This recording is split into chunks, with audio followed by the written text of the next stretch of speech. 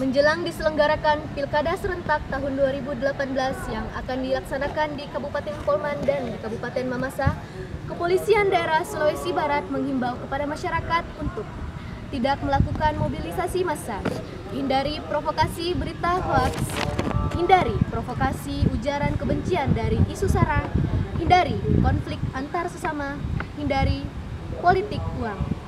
Jadilah netizen yang smart dan mari bersama sukseskan pilkada serentak di Kabupaten Polman dan di Kabupaten Mamasa, Provinsi Sulawesi Barat. Salam Siamasei!